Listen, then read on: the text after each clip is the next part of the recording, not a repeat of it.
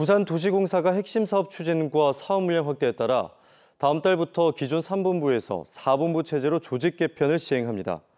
도시공사는 연구개발특구, 에코델타시티안 공공주택 건립사업 등 앞으로 사업 물량이 3배가량 증가함에 따라 기존 도시창조본부를 토목사업을 담당하는 전략사업본부와 건축사업을 담당하는 공간조성본부로 분리 개편해 조직 효율을 높인다는 방침입니다.